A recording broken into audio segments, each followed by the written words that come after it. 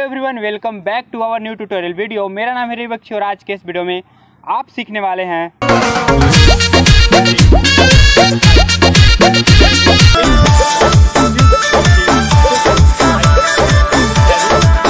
तो इस स्टेप को करने के लिए आपको सबसे पहले इस तरह से खड़े हो जाना है। हमें अपने राइट लेग को आगे रखना है और लेफ़्ट लेग को पीछे रखेंगे और इस पोजीशन में खड़े हो जाएँगे इस तरह से।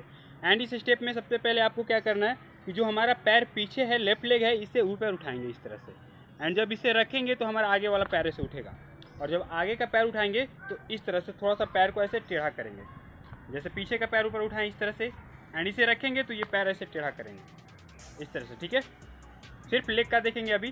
वन टू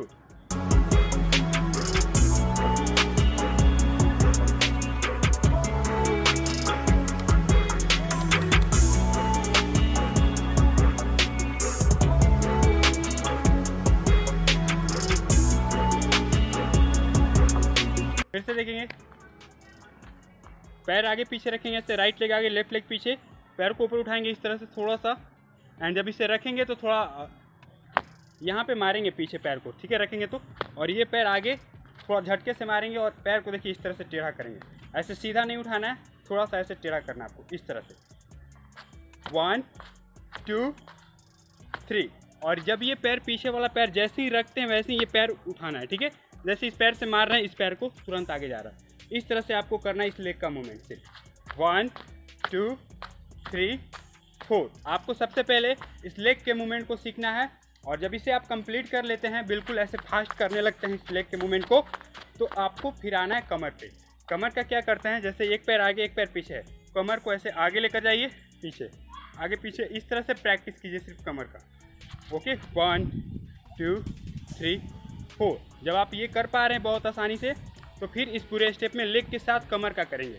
तो क्या करेंगे? जैसे पैर पीछे उठाएँ लेग पीछे का लेग ऊपर उठाएँगे, रखेंगे तो ये कमर को थोड़ा सा जैसे, ये पैर हमारा आगे जाता है तो कमर बिल्कुल ऐसे पीछे आएगा, इस तरह से, ठीक है?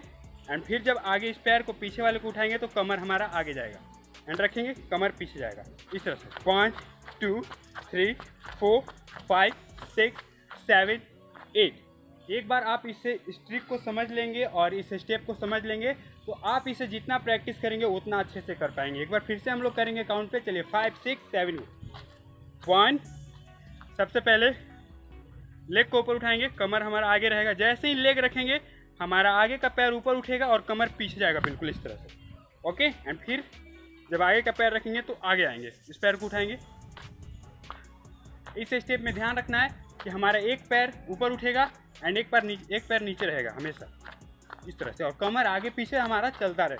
ठीक है? और साथ में जो ये अपर बॉडी है शोल्डर जो है हमारा, ये इस तरह से होता है। One two one two three four जब हम आगे का पैर ऊपर उठाते हैं तो हमारा राइट शोल्डर आगे रहता है लेफ़्ट शोल्डर पीछे रहता है। एंड जब पीछे का पैर उठाएँगे तो ये शोल्डर आगे रहेगा और ये थोड़ा सा पीछे रहेगा। ठीक है? थोड़ा सा इस तरह का मूवमेंट होता है हमारे अपर बॉडी से। और कमर इस तरह से आगे पीछे होगा और लेग आगे पीछे इस तरह से होता है। तो एक बार फिर से करेंगे। One two three four five six seven eight one two three four five six seven eight one two three four five six seven eight one two three four five six seven eight one two three four five six seven eight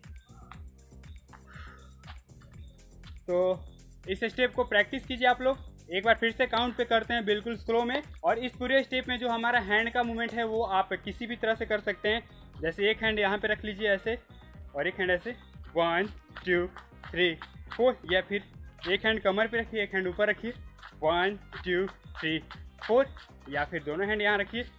one two three four जैसे मैंने आपको shoulder बताया था, इस तरह से movement होगा। अगर हैंड रखते हैं तो हैंड इस तरह से। सॉरी देखिए, जब आगे का पैर उठाएँ तो राइट वाला शोल्डर जो राइट वाला हैंड है, आगे रहता है। एंड जब पीछे का पैर उठाएँगे तो ये हैंड आगे रहेगा। इस तरह one two three four five six seven eight one two three four five six तो हैंड का मूवमेंट आप किसी भी तरह से कर सकते हैं।